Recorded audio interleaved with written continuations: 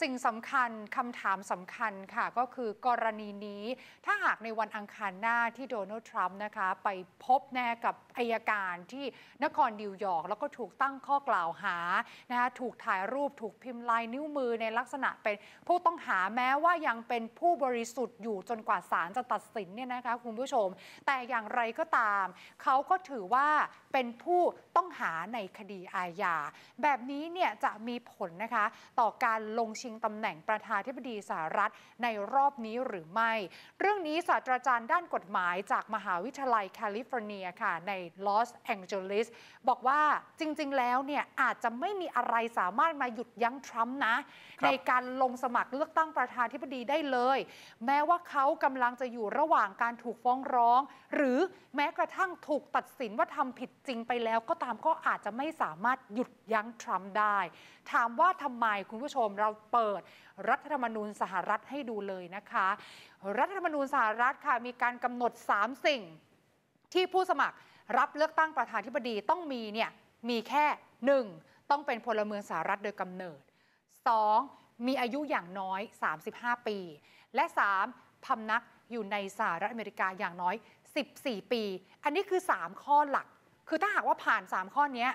ลงชิงตำแหน่งประธานธิบดีได้ ครับ แต่มันก็อาจจะยากอยู่ดีนะคะ ที่ผู้สมัครรับเลือกตั้งที่อยู่ระหว่างฟ้องร้อง หรือถูกตัดสินว่าเป็นอาชญากรเนี่ยจะชนะการเลือกตั้งได้คือลงชิงสมัครตำแหน่งได้แหละ แต่จะชนะการเลือกตั้งได้เนี่ยแหมคนเขาก็ต้องเอ้า เราจะเอาอาชญากรมาเป็นผู้นำประเทศเหรอครับเพราะว่าอาจจะเป็นจุดอ่อนนะครับที่จะทำให้ฝ่ายตรงข้ามเนี่ยค่ะเอามาใช้โจมตีได้อืมแล้วกระบวนการสอบสวนหรือว่าการไต่สวนก็คงไม่ยอมนะคะ ให้กับทรัมป์เนี่ยเดินหน้าหาเสียงได้เต็มที่ ก็อาจจะเป็นอุปสรรคที่จะชนะเลือกตั้งแม้ว่าจะ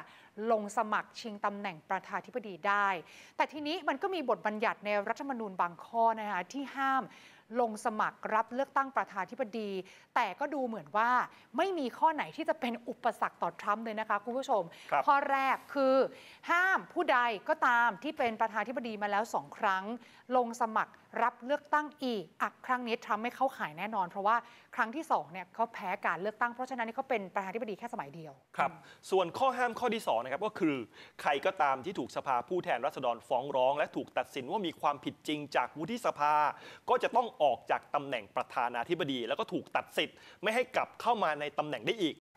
ส่วนข้อ3นะครับผู้ใดก็ตามที่เคยให้การสาบานตนว่าจะสนับสนุนรัฐธรรมนูญแห่งสหรัฐ แล้วปรากฏว่ามีส่วนเกี่ยวข้องกับการก่อจราจนหรือว่าการก่อกบฏ ก็จะถูกห้ามลงสมัครชิงเก้าอี้ประธานาธิบดีสหรัฐ ซึ่งทรัมป์ก็ไม่ถือว่าเข้าข่ายเหมือนกันเพราะคดีที่เขาเผชิญอยู่ตอนนี้ก็คือการใช้เงิน ปิดปากนักแสดงหญิงผู้ใหญ่คนหนึ่งครับ เนี่ยหลังจากนี้เราเลยต้องดูไงหลังจากวันอังคารหน้า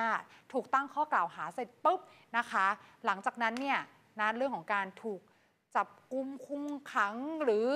ยังไงเนี่ยก็ต้องรอดูกันต่อไป ครับ แต่ก็เชื่อว่าทรัมป์อาจจะไม่โดนลงโทษหนักเท่าไหร่นะครับ เพราะเป็นเรื่องปกติของคนที่มีอิทธิพล แล้วก็ค่ะมีเงินค่อนข้างมาก ก็สามารถช่วยในเรื่องของการดำเนินคดีได้ค่อนข้างเยอะ